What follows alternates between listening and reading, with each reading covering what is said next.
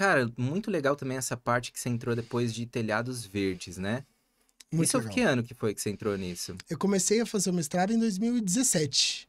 Eu me Nossa, formei. tempo, é, cara. porque assim, eu me formei em 2015, daí eu trabalhei com o Rodrigo Oliveira, né, que eu até comentei, que é um grande paisagista Mestre hoje do também, mercado, paisagista né? top É. Que é agrônomo também, que é legal, né? De Ah, é? é, agrônomo? ele não é arquiteto, ele é engenheiro agrônomo. Ele é formado em Minas Gerais, acho que em Lavras ou Viçosa. Uhum.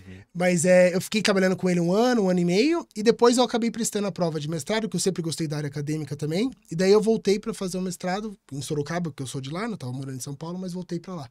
Em 2017 que eu comecei, 16 para 17. Fiquei morando em Uhum. São Paulo trabalhando com ele um tempo e voltei para fazer o mestrado. Legal. E é uma área que até hoje, assim, não é. Melhorou, né? Ainda é mais explorada. A gente tem curso, por exemplo, lá no Centro Paisagístico Gustavo Winter. Sobre o telhado verde, sobre né? Telhado É, Verde, acho que é. até com o Marcelos, que é lá da, do Rio Grande do Sul Uhum, também, né? uhum, Professor. é. Mas não é uma. Não, é, não foi tão difundido dentro do paisagismo como, por exemplo, a parte de jardins verticais, que é, ah, é, explodiu é, de um jeito. É, eu vejo, Luiz, que talvez não tenha esse. Não, teve esse ganho tão grande como o jardim vertical, porque é uma estrutura mais complexa de se instalar, né? Porque o jardim vertical você não precisa de tanta parte, digamos assim, de infra para instalar, apesar de Uhum. precisar de água, energia, de uma estrutura para pendurar as plantas e tal. É um método mais simples, né? Uhum. Porque o telhado verde você precisa ter a, a, a, né, pelo menos os métodos que eu mais conheço, que eu ouvi falar, você precisa ter uma estrutura toda desenhada praticamente para receber aquilo, né?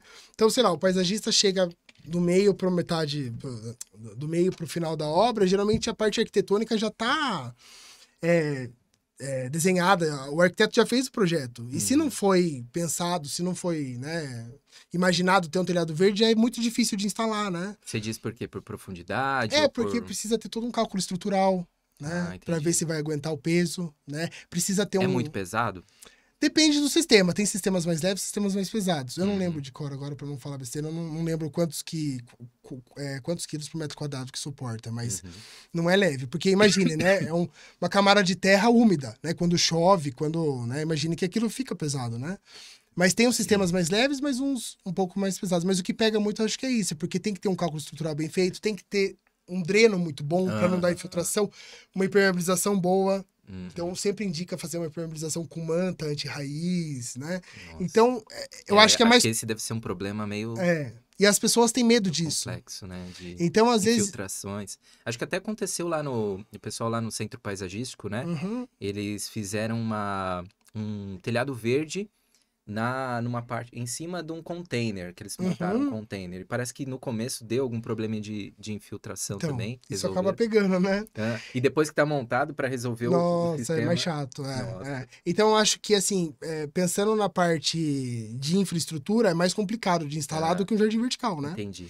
E... Mais caro também ou não? E é caro também. É algo que eu não sei, porque faz tempo que eu não, não, nem, nem orço o telhado verde, de tão pouco que a gente tem, né? Uhum. Mas é algo que antigamente acho que era mais caro, o valor deu uma baixada, mas ainda se você for comparar, né, pelo menos pela experiência que eu tinha na época do mestrado, com o valor de uma cobertura convencional, ficava tipo duas vezes mais o valor. Hum, entendi. Então, é mais complicado por causa disso também. O custo é mais elevado, né? Sim.